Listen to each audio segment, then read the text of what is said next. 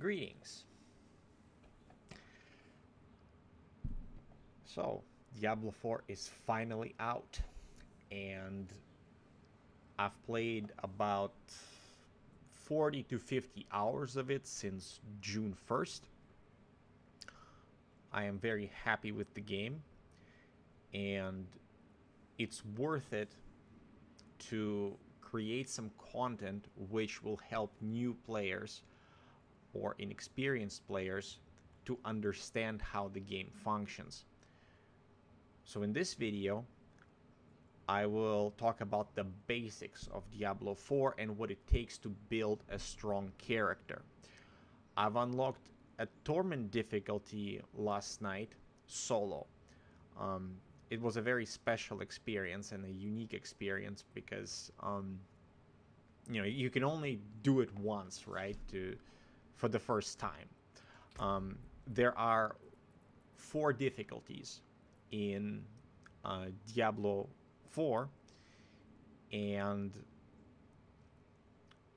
what I wanted to do is to test my understanding of the fundamentals, and it turns out, you know, I'm able to do it pretty well because Torment 4 is recommended for players that are level 70 I am level 63 and I was able to um, pass the test. There's a dungeon which is called the Pinnacle Dungeon or something like that, or or um, let me let me check this real quick. It is called the Capstone Capstone Dungeon.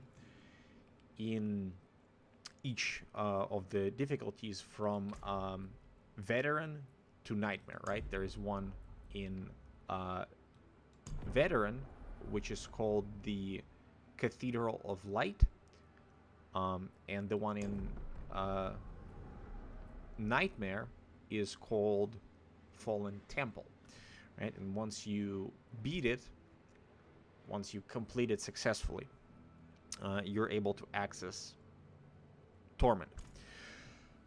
So, what does it take to build a character, a character that is able to progress through the game without too much difficulty. Now, that being said, uh, I was under leveled and a little bit under geared, and because you know I've played the beta and understand the game a little bit, um, I was able to design and plan what I want to do, and it, it, turns out that it's successful. So hopefully, this little guide um, is going to be helpful to anybody who watches it. So what I'm going to talk about is I'm going to talk about the synergy between items.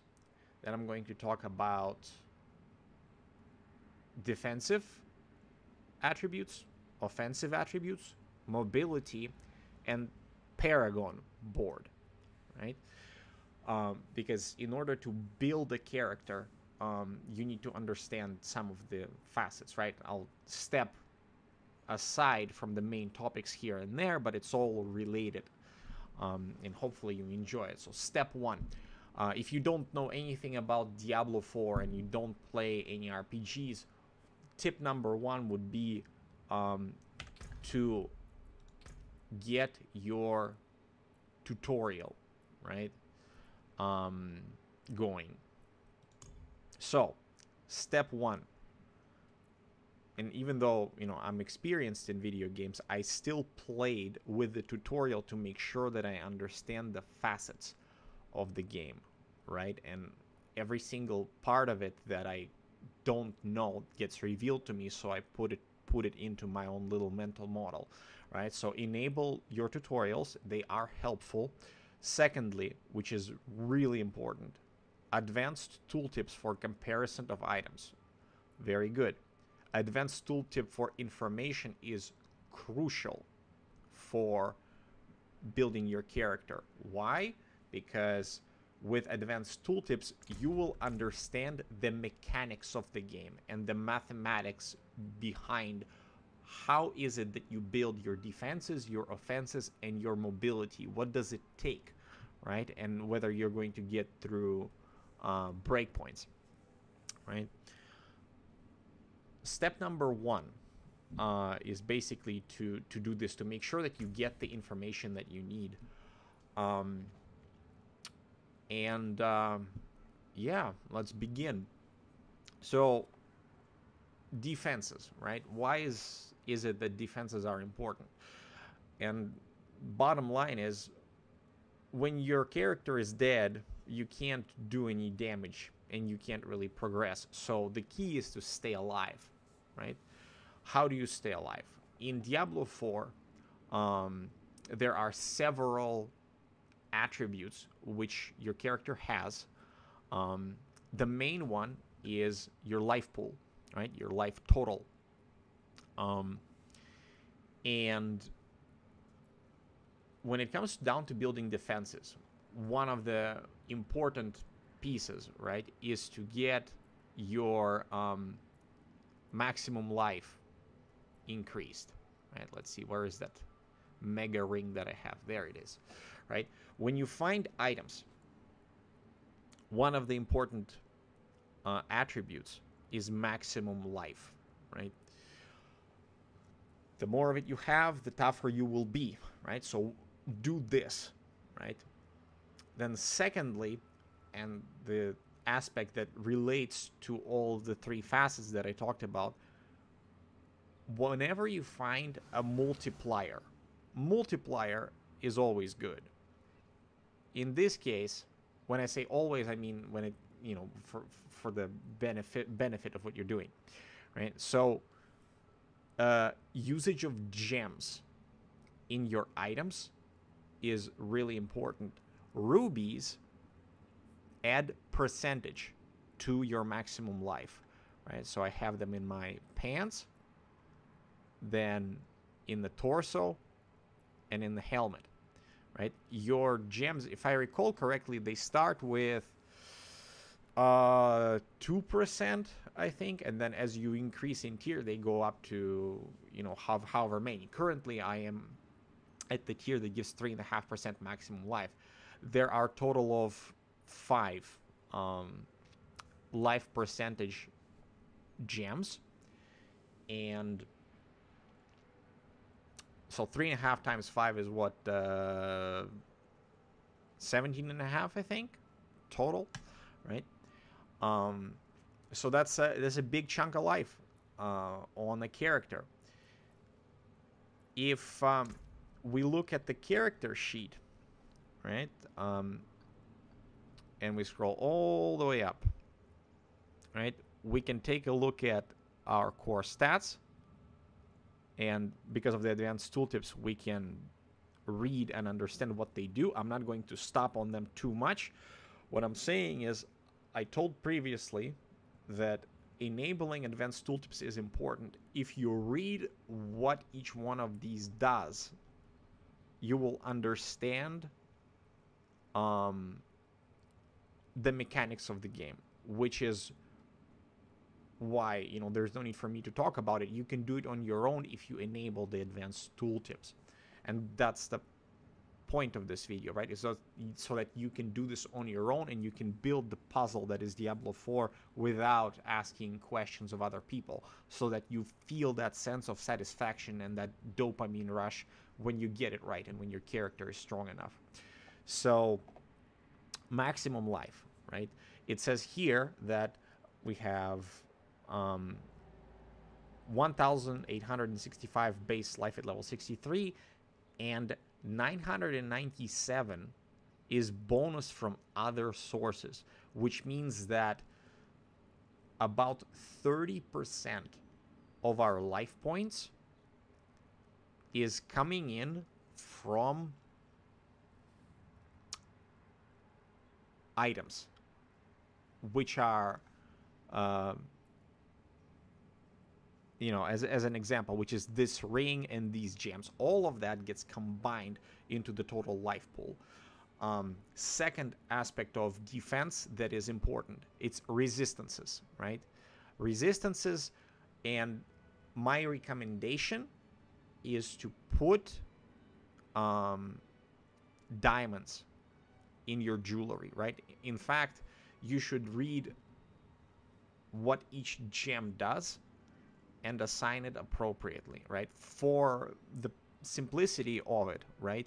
If you put uh, the highest level diamond that you can in your jewelry right now i get 21% all resistance um, just from jewelry alone and that is really important um, it, it's it helps you survive a great deal uh, furthermore armor having an armor on a stat uh, on an item is um, similar to resistances, right? Don't ignore it. It's a really useful attribute on your items. Um, next, offenses, right? When it comes to your offenses, the starting point is your weapon, right? The damage that you deal is based off of the DPS on the weapon that you wield. And while it is important not to waste attributes on your items if you want to be efficient, this particular weapon is the one that I found many levels ago, and I haven't found a weapon with a higher DPS ever since. And I also got lucky and rolled a, my main attribute which is intelligence for the sorcerer. Um, and I just decided, you know, I'll play with this particular weapon, so it, has been okay. It's been good. Um, so your damage is based off of the DPS of the weapon. Secondly, what is important to realize is that in Diablo 4, um, powers from your items is what mm, is essential to your build. So in case of um, my current build, right, uh, this property that is imprinted on the weapon, right? It was a rare weapon, and now I imprinted with this property. Even though it's the lowest roll possible, the property uh, is essential to the crackling energy build that I have to work well. So if you find an item which does something useful for your build, incorporate it into into the item slot. It doesn't have to be the highest roll possible. It just needs to be useful, right? If it's useful, then you'll be okay. Um, what you should try to do is to combine um, your offensive attributes on items or offensive properties on items that will synergize between each other. And synergy, the way I define it for Diablo 4 at least, is um, cooperation between your attributes, skills, and items. Cooperation between your attributes, skills, and items. Which means if you want to have a solid character, you should not waste your properties, right? You should not waste your attributes. You should not waste uh, the properties on the items and the skills. So if you put on something useless, um, you're not as strong as you could be. As an example, right? What I will be transitioning into later, right? When I find a higher tier weapon, I will probably imprint this property on the weapon, right? I could still do the unstable currents. That's fine. Um, it will be just as uh, just as strong, you know, from from the aspects. Um, let's see, where is it? Do I have it here? No, I don't. Um, unstable currents. Ah, actually, there it is. Uh, I'll take out this unstable current property, which is a higher roll, and then I will imprint it on a weapon which will be sac- uh, ancestral, right? Um, this particular weapon, as you can tell, it's called sacred, right? Sacred tier, which is uh, kind of a yellow hueish up top, and the ancestral is a little bit more animated, and it's kind of a silver um, or white um, animation up top. It's a higher tier of higher tier of item, right? So what I'll do is I'll combine uh, this property, right, unstable currents, with this property on the torso. Currently, my torso has um, becoming injured while crowd control grants you unstoppable for 4 seconds, right? And while this is useful in terms of offenses, this particular item would be stronger. Uh, I'm not wearing it now because um, it's not going to be as impactful as when I find a higher tiered weapon, right? I'm simply getting ready. Um, so, again, when you find your legendaries or your uniques, consider this. Does this item fit my build, right? And keep in mind uh, the following, right? When you look at the skill tree in Diablo 4, right? Uh, in the case of my character, I'm making a crackling energy build. Um, and I can only pick certain skills if I want to be efficient. I should say I can only. I am choosing to pick only particular skills that work together, right? I am not picking anything out of fire or cold. It's not necessarily that I. Uh, oh, let me back up here. I am not picking offensive skills that don't synergize. I have Flame Shield for defense because this is incredibly strong when it comes to survivability, right? It uh, breaks all the negative effects and makes me immune for a few seconds. It is super strong defensively, right? Um, it actually, without Flame Shield, this character just wouldn't work, right? Flame Shield is the reason why this this sorcerer build is functioning because I'm able to survive and not die because of it. Um, I'll do a little bit of backtracking here for uh, defenses, right? As an example, uh, this property, which is uh, something that can be easily found and it can also be imprinted on an item uh, at the occultist, right? This skill, which says damaging an elite enemy grants you barrier. If you look at it, um, if it was, uh, you know, the highest roll or a very high roll, if you pay attention, right, my total life pool is 2800. If this property rolled higher, it means that my life pool is essentially doubled up. Just think about it, right? how much tankier uh, you can be, right? And it says that this effect can only happen once every 30 seconds. If you're engaged in a fight with a large crowd of enemies, uh, you can trigger this effect several times. If you're fighting a boss that is tough, you definitely will trigger that several times, which means your life total is huge, hugely benefited by this one item? So I step back to to the defensive part, but you know that's okay because I'm also talking about synergy and incorporating it uh, into this whole spiel. So offensively, right? You start with a weapon, and then as you build your character, you make sure that you pick the skills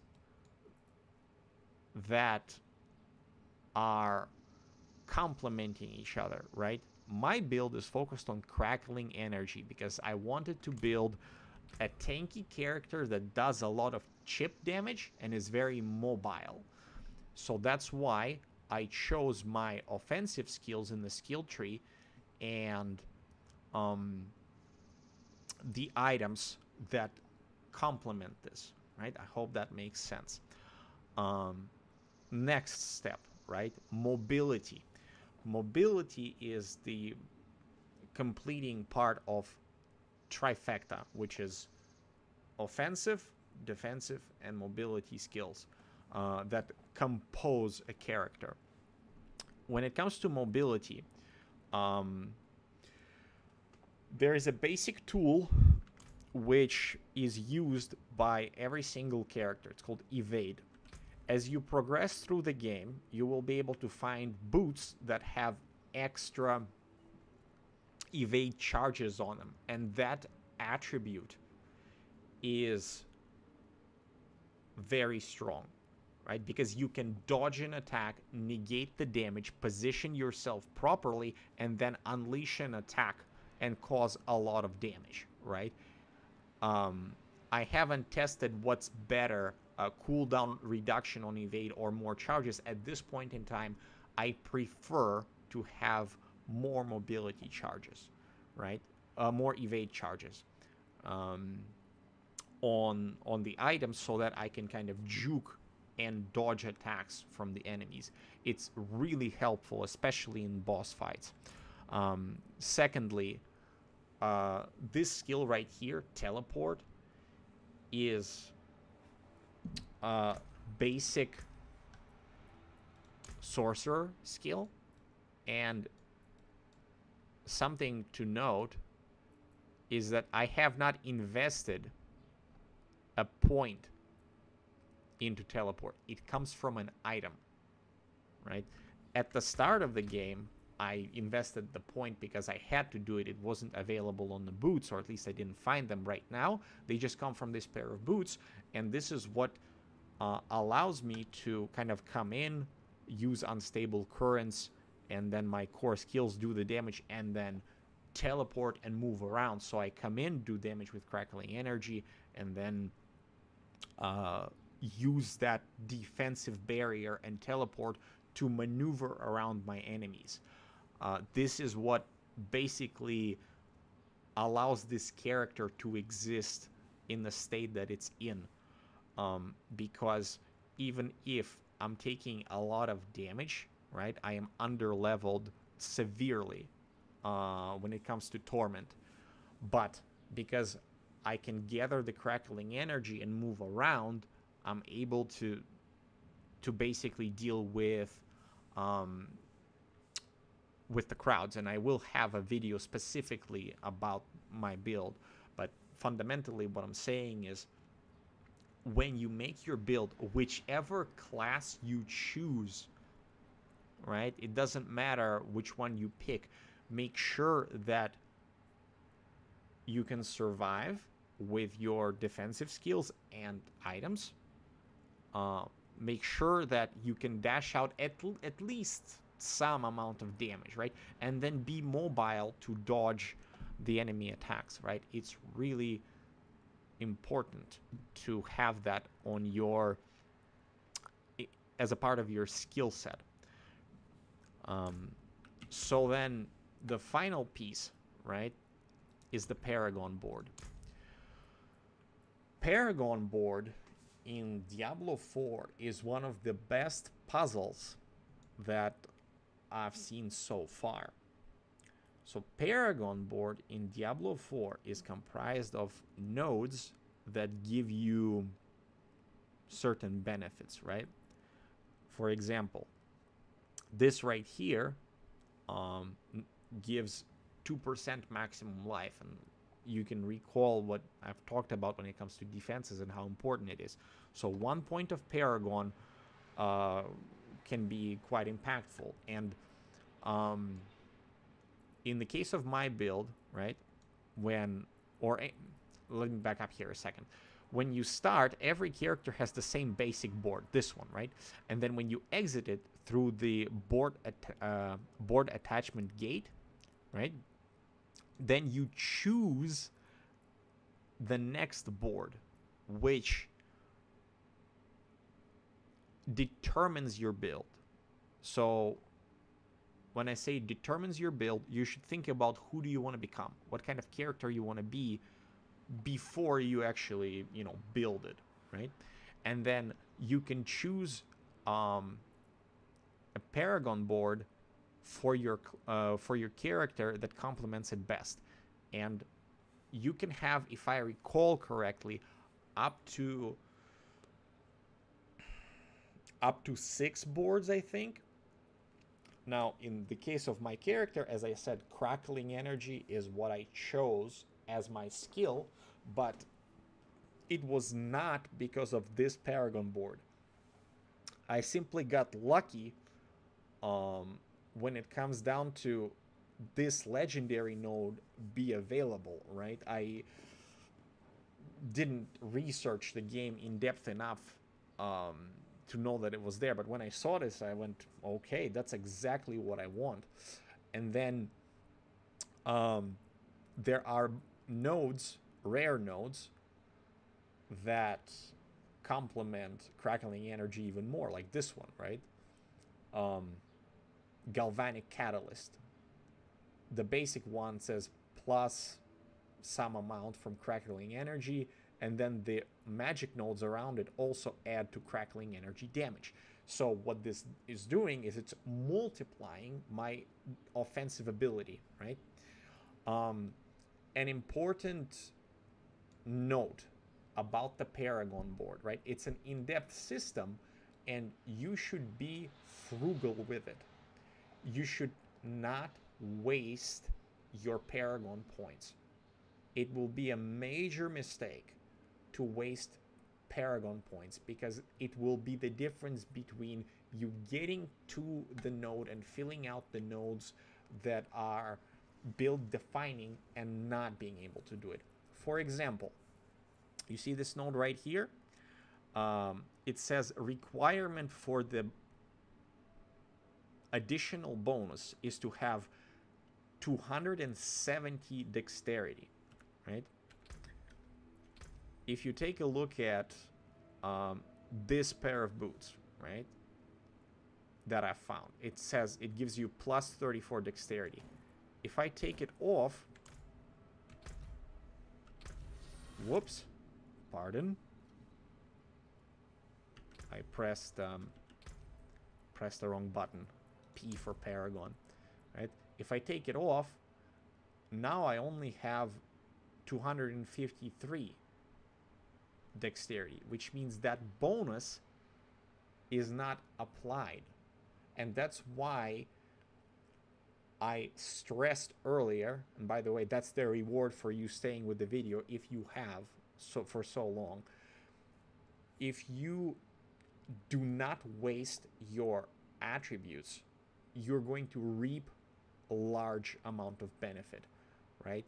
It's important to be efficient because the points, the skill points and attribute points, they're quite tight in Diablo 4. When I say they're tight, I mean if you don't have the attributes that are needed, you're going to lose a lot on either defense or offense. Right? You can lose like a quarter maybe of your overall capability offensive or defensive in terms of paragon if you don't have the right amount of attributes.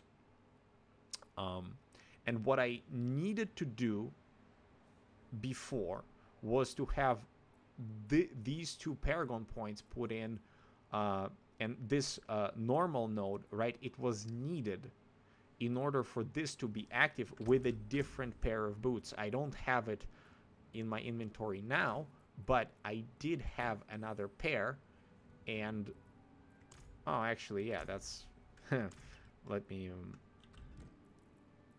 put that up there right I took off the, the boots and now the, the teleport is not available. Well, now I'm going to put it back on, right? So because I have enough of dexterity,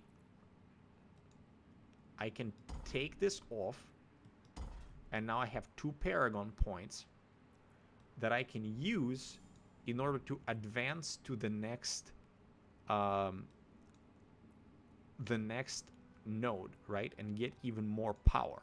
And the way that you play with the Paragon board, the way I recommend that you do this, right? Um, at the very start, you don't worry too much about it.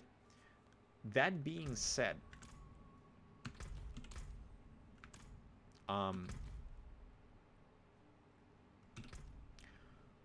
I strongly recommend that you unlock all of the renown. It is a palpable amount of benefit, right? The first three um, parts, which give you the, the first and the, and the third one, right? Give you extra skill point. This is really important for your character and for your build. They're relatively easy to unlock, right? Every region needs 2000 renown points in order to unlock all of the renown benefits. And there are five regions, so you get 20 Paragon points if you unlock it. 20 Paragon points is huge when it comes down to um, when it comes down to just starting up, right, and progressing through the areas of the game. I'm level 63, which means I have a total of uh, 63 times 4, because there are 4 per level. Oh, I'm sorry, 13 times 4 is um, 52. There are also two Lilith altars that give Paragon points. I think there are two, right? So 13 actually that would be 12 because this is not completely filled, right? So 12 times 4 is 48 plus 2 is 50 plus another 2 from Lilith altar is 52, right? 52 points in this Paragon board. And then 20 more are added from the renown. And what that means is that if I did not complete that renown, I would not have the ceaseless conduit available, which is the crux of my build, right? And it, again, I'm emphasizing that you shouldn't worry about it, but once you get the core of your build going and then you progress your Paragon board, you will go beyond the Torment difficulty because there's a lot more beyond it, right? So, again, I strongly recommend um, unlocking all of the renown in all of the regions, which is a huge power booster. Secondly, um, oh, come on. When you use your Paragon points, make sure that your bonuses are active on the nodes. So on this node, I don't have enough willpower, which means I will see if I can fit more willpower on somewhere else. Although it's not really this four resistance to all element. It's not that important now besides i'll get more items which will allow it to fill up kind of naturally right? This node right it requires 280 dexterity which i already have so i can just go toward the hunter killer. And then after i fill out the hunter killer node um, i'm going to go out of this gate and attach another board and lastly, what I'll say is that when you pass on the Paragon board toward the node that you want to activate, look at the rare nodes, look at the legendary nodes, and ensure that when you pick the path, that the nodes you are picking complement what you want to build because I could have gone in a different direction and if I did not pick up enough dexterity, this would not be active. If I made that mistake and I, if I didn't do this step, um, or, hang on a minute. Oh yeah, actually, now that I'm looking at it, um, the Yeah, I forgot. So I actually cannot take away these two points because if I do, then um, this glyph will not be active. Yeah, that's well. There you go. Um, I forgot about this part and I made a I made a mistake, but th there it is, right? Uh, glyphs, which are basically nodes that where you insert, um, well, a special rune, if you will, of of sorts, and well, it, it's called a glyph, right? It's not called a rune. A glyph is only active if it meets a requirement from the nodes around it. So in the current configuration of this glyph, because it's, uh, what level is this?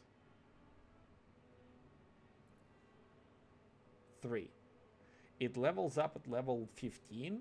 The radius will expand, and I think this node will also be, you know, available. And after that's available, I will be able to take away these two paragon points and then use it to advance in a different um, Paragon board. So as you can tell from what I just shared over these several minutes, Paragon boards are interesting puzzle pieces and they add depth to Diablo 4, which is um, so good, right? I am looking forward to building a strong character with every single class and I hope that this little video about you know building characters and what it means. And this you know amount of time that I've spent that's just the fundamentals of how Diablo 4 works. Uh, it's a really really put together well put together game. Um, so yeah, if you find this valuable, please uh, click a like uh, on the video, help the YouTube algorithm, um, and then maybe you know more people will watch it and also gain this benefit. Uh, if you want to support me, you can click the subscribe button, and uh, you can watch me on Twitch. I stream there, and if you want to play with me in a party, you just show up and ask me, and then we'll make an arrangement.